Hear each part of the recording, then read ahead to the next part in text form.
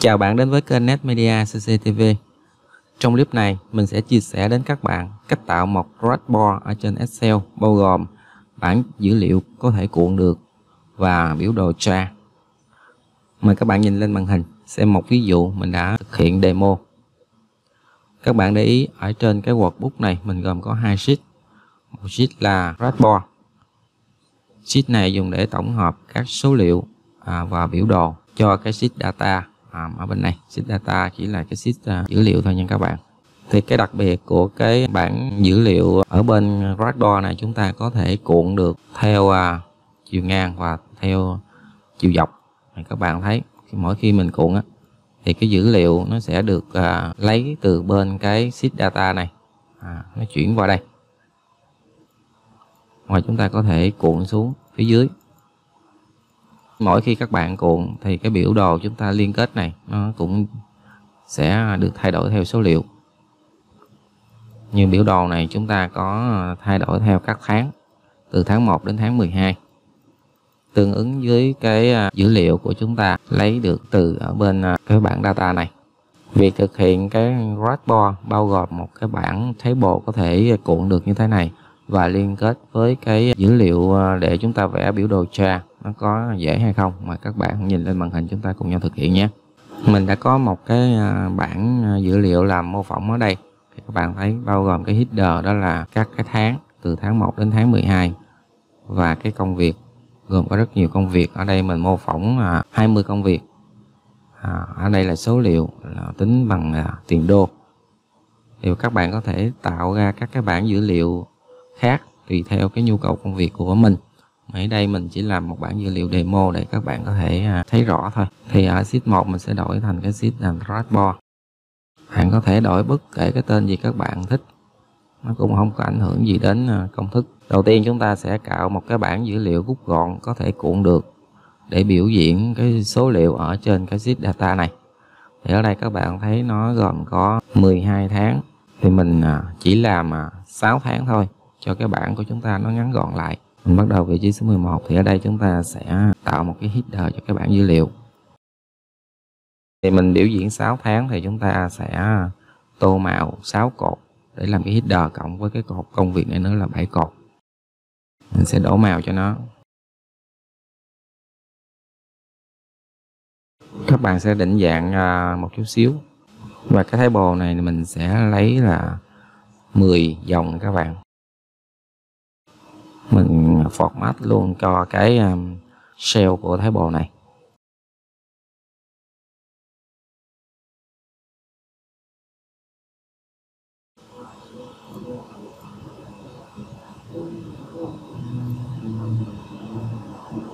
Bạn à, chọn các cái cell kết hợp với phím Ctrl thì các bạn có thể chọn nhiều dòng của thái bồ một lượt. Mình sẽ đổ một cái màu màu nâu nâu. Chúng ta lưu lại. Rồi xong một cái việc mà chúng ta đã tạo một cái thế bồ cơ bản nó đã hoàn thành. Tiếp theo chúng ta sẽ tạo hai cái thanh cuộn cho cái thế bồ này. Thì bạn sẽ vào cái tab uh, developer này.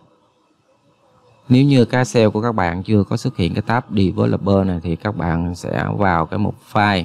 Bạn chọn cái option. Trong cái mục customize ribbon này các bạn click vào đó, thì các bạn sẽ check vào cái mục developer này thì nó sẽ hiển thị trên cái à, thanh menu của chúng ta nha các bạn. Ở đây mình có rồi. Thì bạn sẽ vào tab developer này các bạn vào mục insert. Các bạn chọn cái mục là scroll bar. Và mình sẽ à, kẻ ở đây cho cái thanh cuộn ngang các bạn khi muốn ờ, điều khiển kích thước của cái roll bar này, các bạn ờ, lít chuột phải vào nó để cho xuất hiện các dấu chấm chấm này. Xong rồi các bạn lít chuột trái để các bạn kéo. Và chúng ta sẽ insert thêm một cái roll bar cho cái chiều dọc nữa. Bên này. Như vậy chúng ta đã có hai cách roll bar cho cái à, chiều ngang và chiều dọc của cái bảng dữ liệu của chúng ta chúng ta sẽ tiến hành cái bước tiếp theo, đó là link và format cho cái cron bar này. Chúng ta format cho cái cron bar theo chiều ngang này trước. Bạn click chuột phải vào nó, bạn chọn cái mục là format control.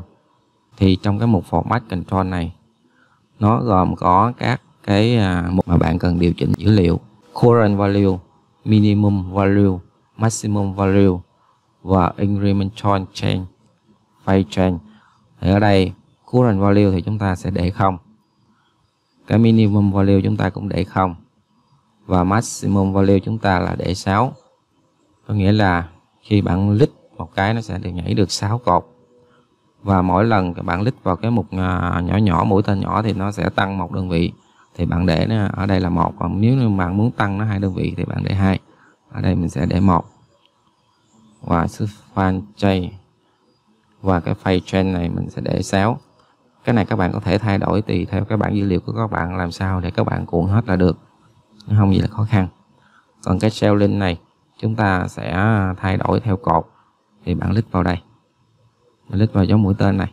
Chúng ta sẽ qua cái sheet data. Chúng ta chọn đại một cái cell ở bên cái sheet data này để chúng ta làm cái số liệu đổi theo ờ, cột các bạn. Thì mình chọn là ô 1 của cái sheet data. Ừ, ok tiếp theo chúng ta sẽ định dạng cho cái cron đứng này. Bạn click chuột phải vào cái cron đứng này cũng bạn cũng chọn format font thì tương tự cái cron đứng này nó sẽ cuộn theo cái à, dữ liệu công việc, nghĩa cuộn theo chiều đứng.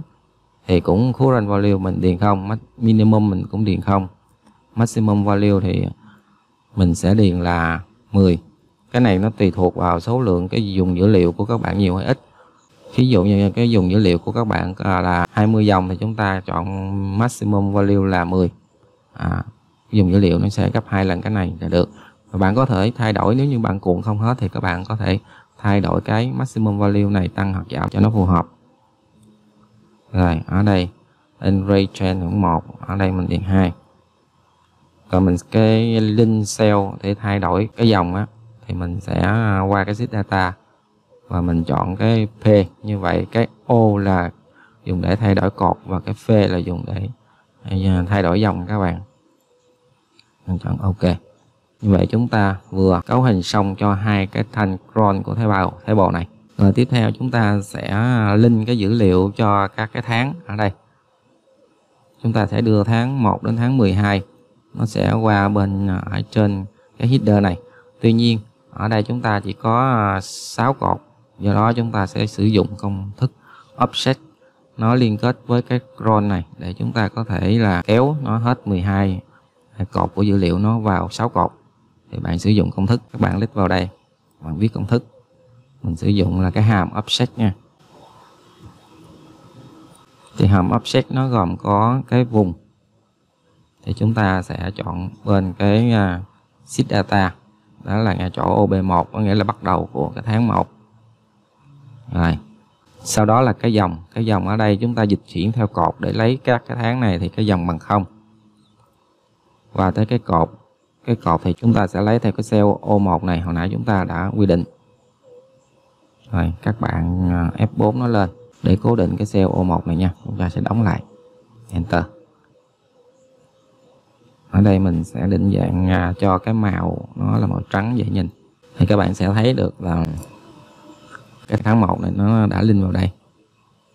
Rồi chúng ta sẽ copy công thức này kéo qua tới đây. Như vậy chúng ta được từ tháng 1 đến tháng 6 và khi các bạn click vào đây này nó sẽ tăng một đơn vị này các bạn thấy không? Nó thay đổi theo tháng. Còn khi các bạn click ở trên thanh ron 3 này thì nó, nó nó thay đổi một phay là 6 tháng nè. Đó, còn các bạn click vào cái mục mũi tên nhỏ nhỏ bên này thì nó thay đổi một đơn vị như vậy tiếp tục là chúng ta sẽ dùng cái cách đó để chúng ta sẽ liên kết dữ liệu cho cái cột công việc này. Chúng ta cũng dùng cái công thức là offset. Lúc này cái vùng dữ liệu của chúng ta bắt đầu từ OA1 và cái à, dòng của chúng ta là lấy theo cái P. Và cái cột của chúng ta là không thay đổi. Không. Cái chỗ phê này các bạn sẽ dùng F4 đối với máy tính thì các bạn có dụ kết hợp Fn với F4 nha. Ok. Đó như vậy để copy cái công thức này xuống các cái dòng dưới thì các bạn chọn ngay cái ô cần copy nè. Và chọn hết tất cả các cái vùng cần copy công thức. Các bạn sẽ nhấn là F2 rồi sau đó các bạn nhấn là Ctrl Enter. À, thì nó sẽ copy cái công thức xuống phía dưới của cho chúng ta như thế này. Thì các bạn roll thử cái cột đứng này thử nó thay đổi không nha. Đó các bạn sẽ thấy nó thay đổi đến công việc 20 là hết đây. Như vậy việc của chúng ta đã tạo liên kết cái dữ liệu của thái bò trên cái zip data và cái thái bò trên cái dashboard thông qua thanh cuộn roll này à, đã hoàn thành. Và chúng ta sẽ tiếp tục thực hiện cái công việc đó cho cái dữ liệu chính giữa này. Thì bạn để ngay cái cell B12 này. Chúng ta cũng sử dụng cái công thức là offset và cái vùng bắt đầu á, là chúng ta sẽ lấy ô B2 cái dòng á, thì chúng ta sẽ lấy theo cái cell là P1 và cái cột chúng ta sẽ lấy theo cái cell là O1 các bạn sẽ cố định cái cell P1 và O1 lại bằng FN F4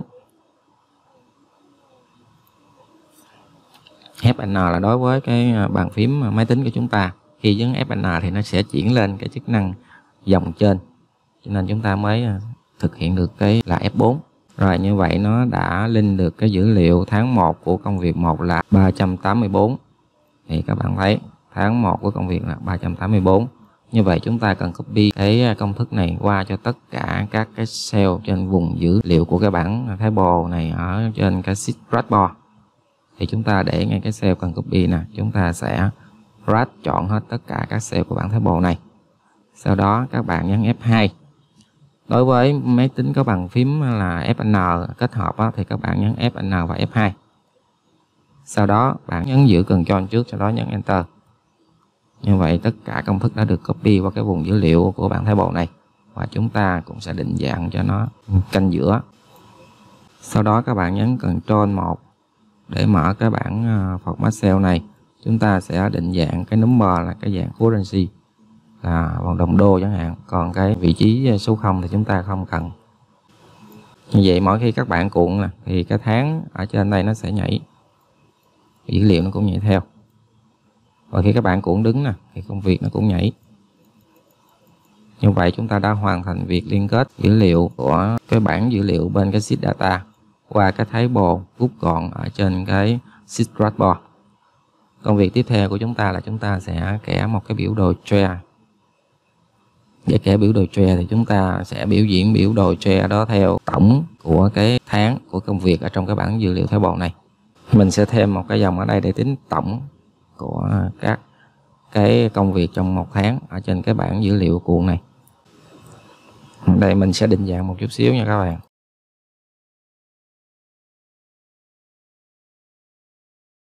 Ở đây mình sẽ dùng hàm sum.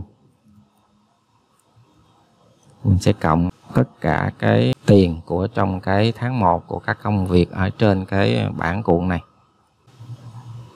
Sau đó mình copy cái công thức này qua bằng nắm kéo này cũng copy được chúng ta sẽ thử thay đổi của thành cuộn này. Ờ, cái tiền này cũng thay đổi theo đó. Rồi chúng ta sẽ vẽ biểu đồ tre cho cái tổng này. Bạn chọn các cái số liệu ở trên các à, cái cell này. Vào insert. Các bạn chọn à, biểu đồ tre. Chọn kiểu này nha các bạn. Mình xóa cái này đi. Xóa cái tre title này luôn. Chúng ta sẽ kéo nó cho nó vừa vặn với cái vị trí của chúng ta.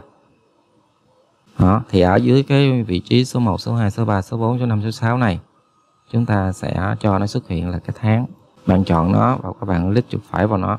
Các bạn sẽ chọn uh, select data. Và ở đây chọn edit. Xong các bạn uh, sẽ drag cái vùng dữ liệu này. Ok ok. Như vậy các bạn thử thay đổi. Thì cái tháng này nó sẽ thay đổi theo các bạn nhìn thấy không? Rồi. Mình định dạng ở trên cái đường line của cái tra này chút xíu nè mình click vào cái à, biểu đồ bạn chọn vào cái dấu cộng này sau đó bạn chọn là cái mục là data label.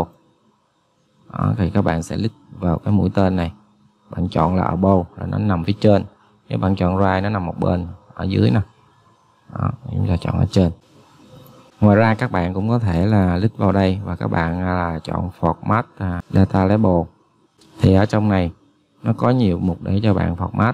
Ví dụ như bạn có thể là format cái màu nền cho các cái số liệu và các bạn có thể đổi là cái đường line của cái bản đồ.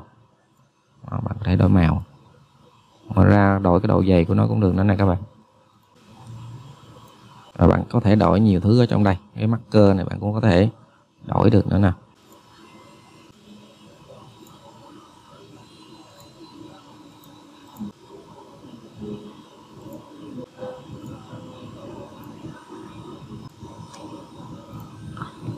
Như vậy mình vừa định dạng à, cơ bản xong cho cái tre này. Cái border này mình sẽ đổi thành cái màu khác.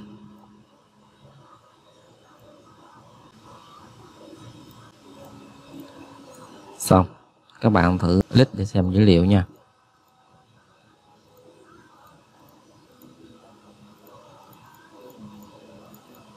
Như vậy ở trên mình vừa hướng dẫn cho các bạn tạo một cái dashboard ở trên Excel. Nó tập hợp một cái bảng dữ liệu cuộn để kết nối với một cái sheet data khác.